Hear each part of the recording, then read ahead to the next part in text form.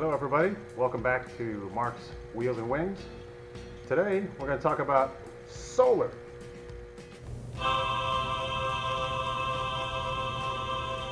You know, it never fails that anytime we tow this thing anywhere, we always get peppered with all kinds of questions about custom build, where did I get it, did I do it myself, everything else, but usually every single person asks about the solar system and how that thing works in this trailer. So we're going to take a look at it, so let's go check it out.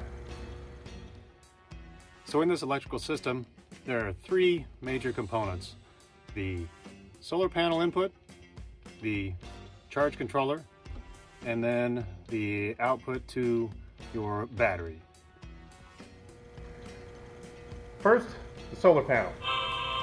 So this is a 100 watt solar panel. It's linked in the description below uh, Renogy. Uh, there are several different models and several different companies who make these, but this one's fairly simple. It's, uh, like I said, 100 watts, so that means it's able to supply 12 volts and 5 amps worth of current uh, to the charge controller, which in turn charges your battery.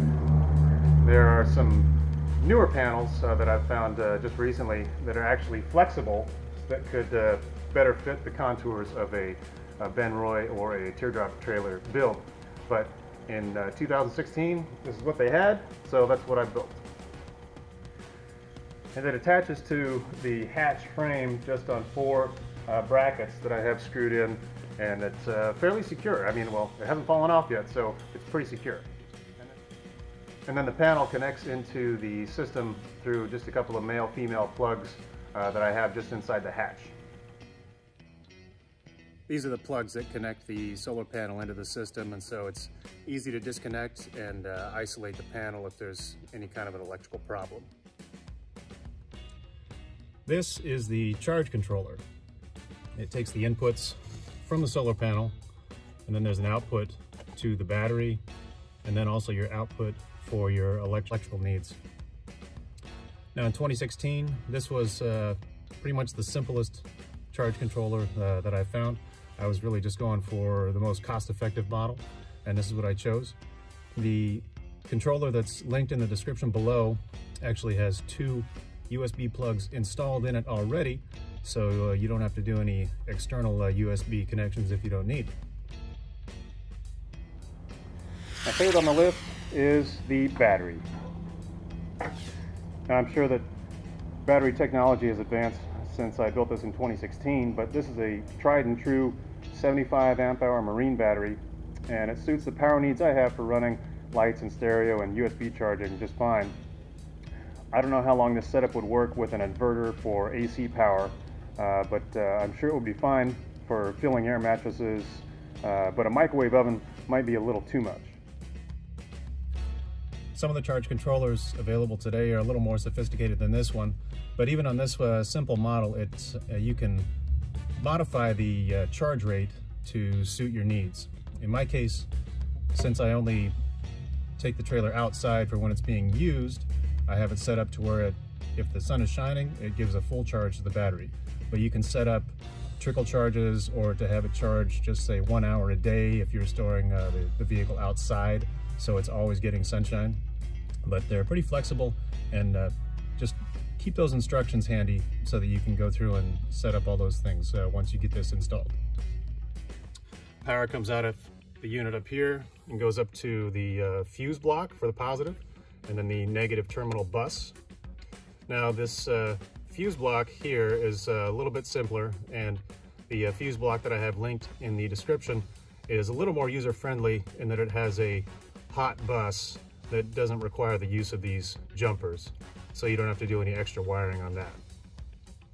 And then from there, the power goes out to all your uh, individual items. And then this negative bus terminal is just what connects all the ground back into your battery.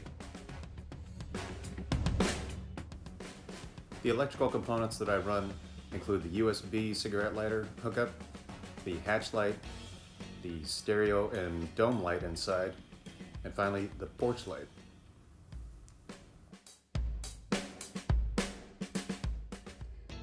And I installed all the wiring prior to uh, skinning the uh, outside with the aluminum So the wiring runs all through the ceiling and out to all of the electrical outlets needed.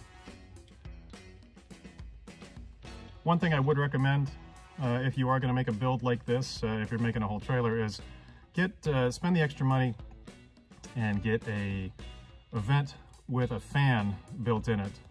Just notice sometimes when we're out camping that uh, a little bit ventilation would be nice. I did have the forethought when I was putting this all together to actually pre-stage a uh, wire out to this unit so that if I changed my mind and got a vent fan in the future, then it would be set up and ready to go. Now this system is completely independent from the plug-in to your uh, vehicle bumper that runs your uh, brake lights and uh, turn signals and uh, all of that. So it's uh, completely self-contained. And uh, I chose to build it without a external power plug or shore power. I just wanted this to be a completely independent system and fairly simple. Now, if you store your system inside so it doesn't get regular sunlight, uh, chances are you might end up after a couple of months running the battery down to below a level that will power the charge controller.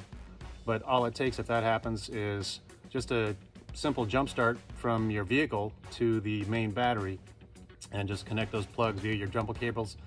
That'll give it some uh, current to be able to then re-energize the charge controller and then you'll be back in business uh, out in the sunshine charging your whole system. So that's it for now. Thanks for tuning in once again. Be sure to hit that subscribe button below if you want uh, updates on new content. And also all the products that I've talked about today are linked below in the description. As always, feel free to ask questions in the comments below, and I'll try to get those answered as quickly as I can for you. But like I said, thanks for tuning in, and we'll see you next time.